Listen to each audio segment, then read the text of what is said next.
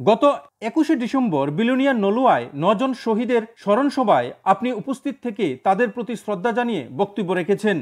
আমি রাজ্য থেকে প্রকাশিত বিভিন্ন দৈনিক পত্রিকায় এবং বৈদ্যুতিন সংবাদ মাধ্যমে প্রচারিত খবর থেকে উপরুক্ত শহীদের সম্পর্কে আপনার বক্তব্য জানতে পেরেছি।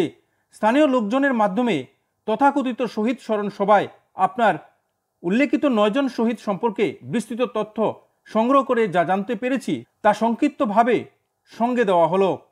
এই তথ্য থেকে দেখা যাচ্ছে একজন একজন লিটন পাটারি ছাড়া বাকিরা উনিশশো ছিয়ানব্বই সালের মধ্যে মারা যান।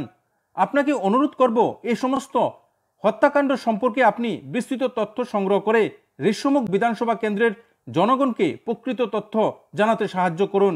এ প্রসঙ্গে আমি আপনার সরকারের সিদ্ধান্ত অনুযায়ী রাজনৈতিক হত্যাকাণ্ডে নিহতদের পরিবারকে পাঁচ লক্ষ টাকা সাহায্য এবং এবং প্রত্যেক পরিবারের একজন উপযুক্ত ব্যক্তিকে যোগ্যতা অনুযায়ী একটি সরকারি চাকরি দিতেও অনুরোধ করছি।